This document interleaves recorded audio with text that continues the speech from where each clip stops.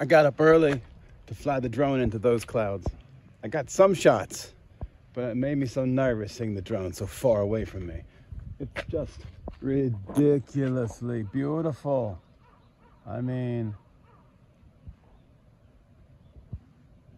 this is crazy. This is just crazy. I mean, I wish I had something more insightful, some David Attenborough level commentary, but this is just,